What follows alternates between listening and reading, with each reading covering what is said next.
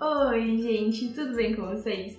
No vídeo de hoje trago para vocês um recebido de livros usadinhos, olha só que diferente. E galera, meu primo e eu reunimos alguns livrinhos aqui que nós vamos mandar para doação. A gente sempre teve esse hábito, né, de comprar livros, doar livros, trocar, emprestar, pegar na biblioteca. Sempre tivemos esse contato amplo com a leitura. Nós achamos aqui alguns livros infantis, alguns deles eu ainda não li, vou mostrar aqui para vocês.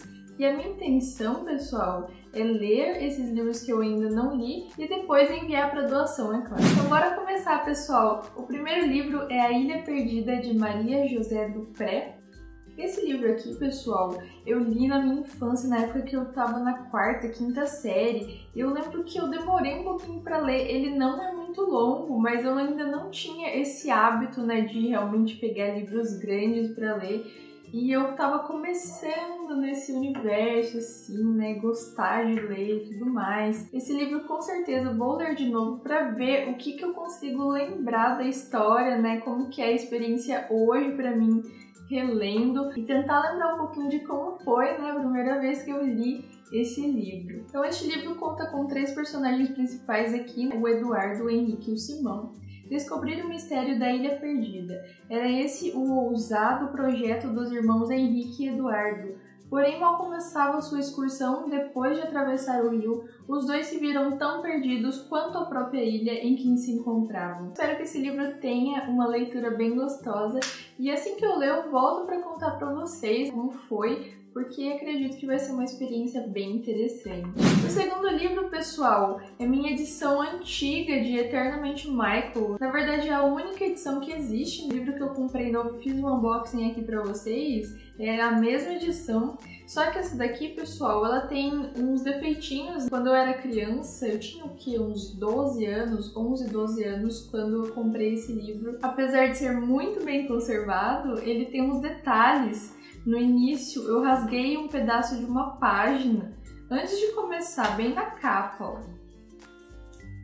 Bem aqui, dá uma dorzinha no coração, mas ainda é um item de colecionador bem legal para quem gosta de Michael e é um livro bem interessante para todas as pessoas lerem e conhecerem um pouco da história dele. Se vocês quiserem saber mais detalhes sobre esse livro, vou deixar linkado aqui no card também para vocês assistirem um unboxing. É uma biografia em mangá do Michael Jackson muito legal. O terceiro livro, pessoal, confesso que fiquei bem curiosa, mas é um livro bem infantil, tá? Chama assim Foi Ela que Começou, Foi Ele que Começou. Esse livro tem uma dualidade, parece uma carta de baralho, né?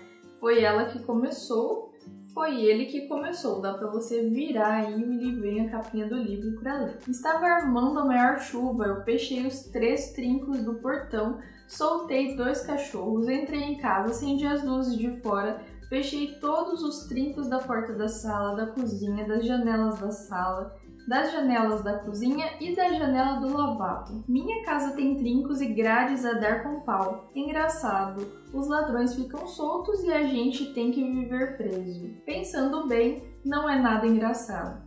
Aí eu fui atender o telefone. Esse livro é de Tônia Brandão e me deixou bastante curiosa para ler, apesar de ser algo mais infanto-juvenil, né, pessoal? Tem um livro aqui, galera, que me deixou bastante curiosa que é O Menino do Dedo Verde, de Maurice Druon. Olha, um livro todo verdinho.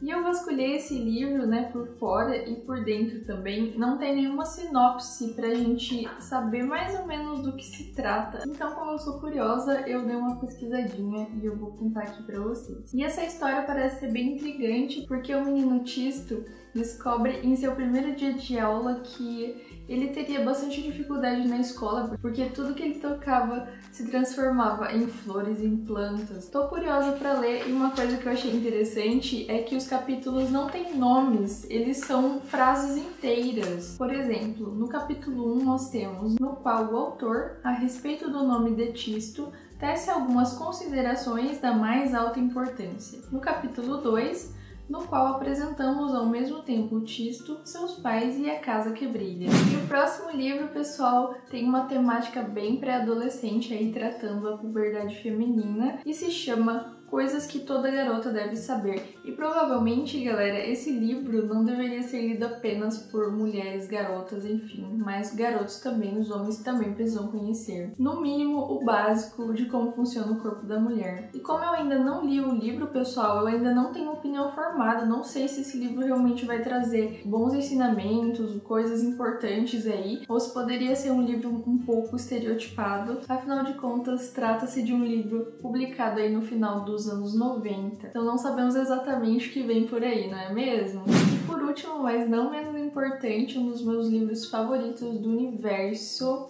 que é essa edição antiga, nessa edição clássica de Harry Potter e as Relíquias da Morte. E esse livro aqui, pessoal, já tem dono, já está prometido para o meu primo. Eu sempre passo alguns livros meus para ele também. E como é um livro que ele ainda não leu e eu tenho o costume apenas de presentear as pessoas que eu gosto, né, com livros que eu já li. Eu nunca dou um livro que eu nunca li para alguém. Essa é uma regra máxima assim que eu tenho. E essa edição aqui, pessoal, é muito especial porque eu tenho ela há muito tempo. A capa dela tá saindo desde quando chegou, já chegou com esse defeito, a capa soltou e aí eu precisei colar com Super Bonder. Foi uma gambiarra só. Vocês sabem, né, que eu sou a louca do Harry Potter. Nossa, como eu amo Harry Potter. E esse ano eu estou relendo a saga e também comprando os outros livros que eu ainda não tinha dessa edição clássica, dessas capas antigas. E o que é um pouco triste, pessoal, é que essa edição é muito frágil. Nossa, a capa, ela esfola todinha, bem